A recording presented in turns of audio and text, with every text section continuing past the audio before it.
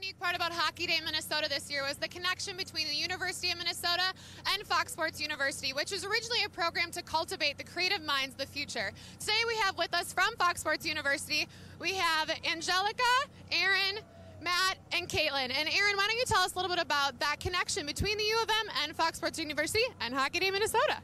Yeah, so last year, Fox Sports North, as well as the Minnesota Wild, came into our classroom and gave us the task of coming up with a campaign to raise awareness for Hockey Day Minnesota.